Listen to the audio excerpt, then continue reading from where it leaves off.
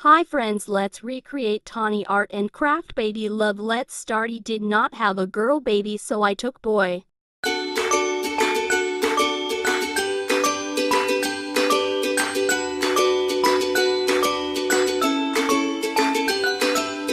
Okay, so he is not wearing the hairband, so let's do the makeup now.